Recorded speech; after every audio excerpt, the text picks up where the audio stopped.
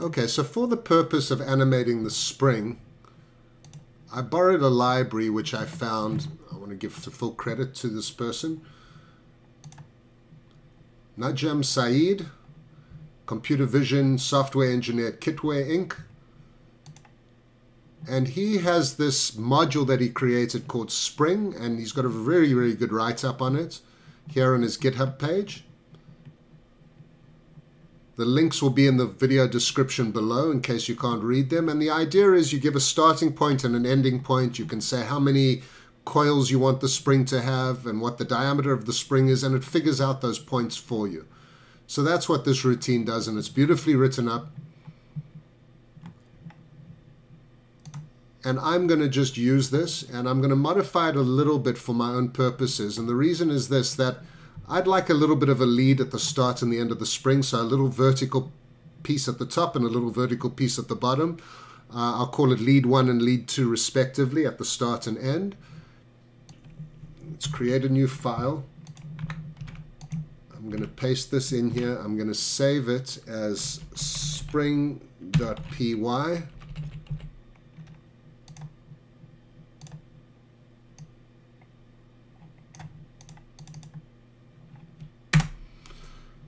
All right, done.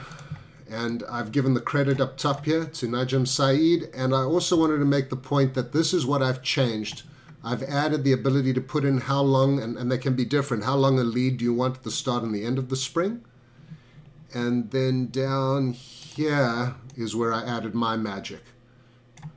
Really, that's all I added to the routine. And then at the end, I'm now returning, in addition to the coordinates of the spring, these points P1 and P2 which is an additional point that I've calculated to connect the lead to.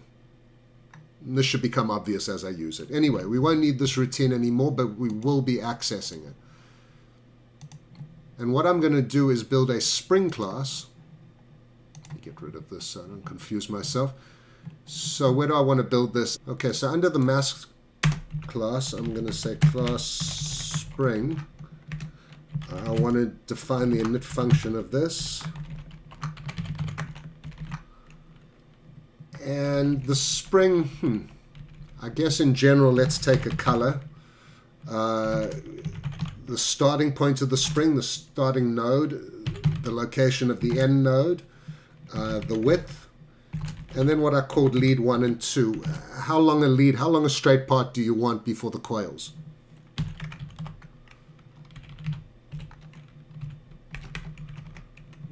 Right, and then we just set these up internally. So self start equals start, self end equals end, self nodes equals nodes, uh, self dot width equals width, uh, self dot lead one equals lead 1 and self dot lead 2 equals lead 2 typo. 2 typo. Uh, we'll make the weight of the spring 3 for, we can always change that. And then the color self dot color is equal to the color. All right very good. Now we need to define an update function and we need to define a render function for the spring, just like we did with the mass. Okay, spring might be a little bit trickier, but we've got the points and we've got the mechanisms for calculating it. So first let's do the update routine. And for the update routine, you just need the start and end nodes. So you're given two nodes, and based on those two nodes, right, point one and point two, or point two and point three, you need to calculate how to draw the spring. So the first thing we need to do is self.start is equal to start. And self.end is equal to end. So we want to update the start and end points of that object. And then, so let me go back to the spring routine. The spring routine is going to send the coordinates of the spring. So this is a list of x coordinates and a list of y coordinates, and then the starting point as a tuple and the ending point as a tuple. self.x, self.y,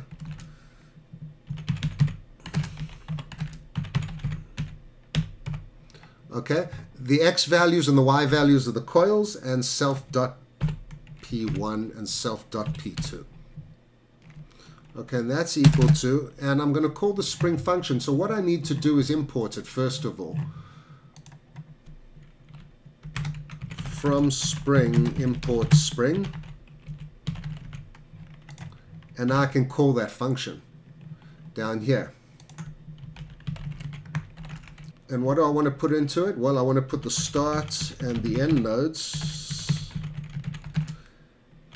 Want to put the num number of nodes, which is self.nodes.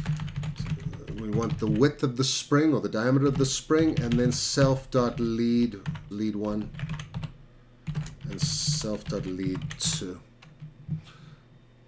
I just want to show you this. Let me make it a bit smaller so I can fit it all in one screen. But that's what that looks like. I'm setting the start, the end node, the number of nodes, the width of the coils. That should be self.lead. Okay. Let me blow it up again. Hopefully you can now read it. Okay, and then the other thing, the last thing I want to do here is I want to convert these to an integer It would be int of self.p10 int of self.p11 and then I'm going to do the same thing for p2 p2 p2 p2 okay and then we want to do the render method Itself. And really what I need to do is just draw all these little line segments. Pygame, draw line, screen, uh, self dot color, self dot start. We want to go from the starting node to, to P1. Self dot weight. I'm going to make this a little bit bigger so that you guys can see it. Okay, now I want to just draw all these points. I think for points, we want to zip these together. So point in zip x and y, self dot x, self dot y. We zip them together, and then pygame dot draw a line on the screen in self dot color. I'm going to say from the previous point to the point and self.weight.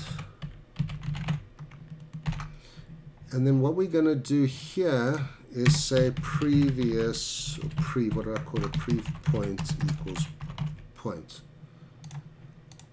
But I've got to do it up here too. So I'd say here pre to begin with, the previous point must just equal P1. Okay, that will work and then I've got to do all these other points, and then I've got to do the lead point at the end.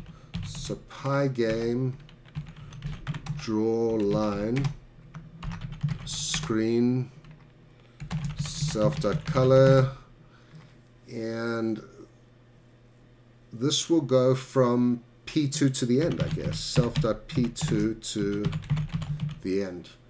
And the weight will be self.weight.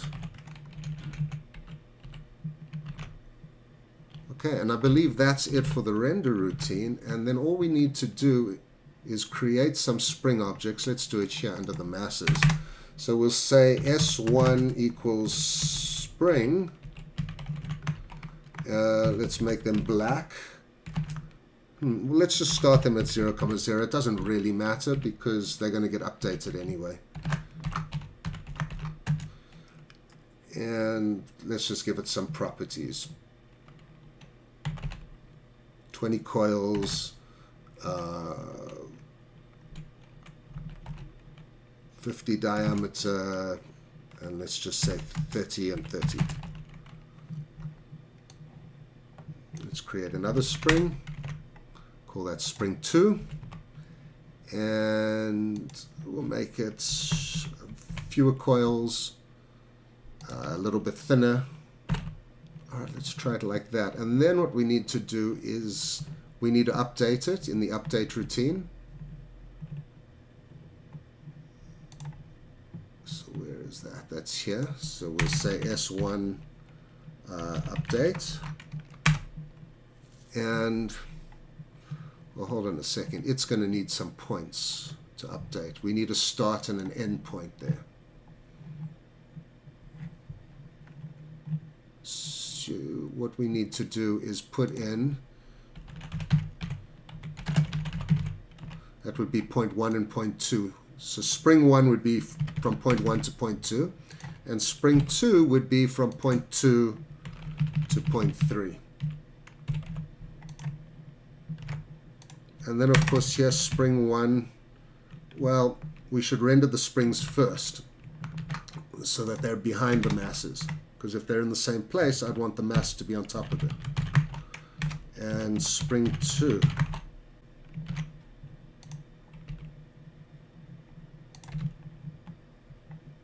I we're pretty good. Render, render the statics. Uh, we've got our render routine. All right, let's try to run this.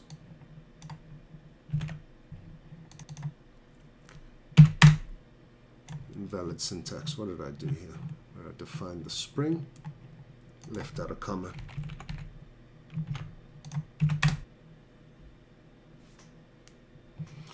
Oh, got the wrong number of arguments. So let's go to spring. In fact, what I don't have is the number of nodes. That's what's missing. Okay. Now we go. Two objects are callable. 49, I'm probably missing a comma there too. There we go. Self.p1.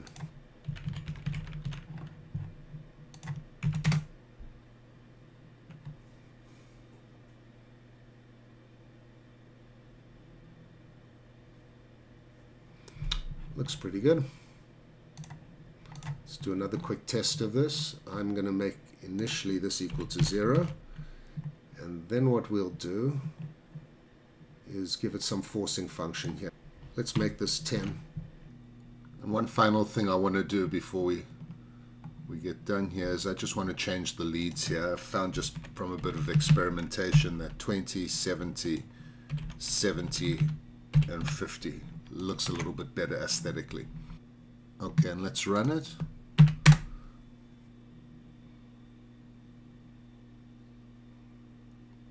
And there you go. It looks good to me. I got the little flat spots on the springs that I wanted, and um, I think our animation is now complete. That's all I'm going to say about this video. Thank you very much for watching. I hope you found something useful in it. If you did, please help me out and go ahead and hit those like buttons. Or better still, subscribe to the channel and click on the bell to be notified of new releases. If you have any questions, I'd love to hear from you in the comments section below. Thank you very much for watching, and I'll catch up with you in the next one.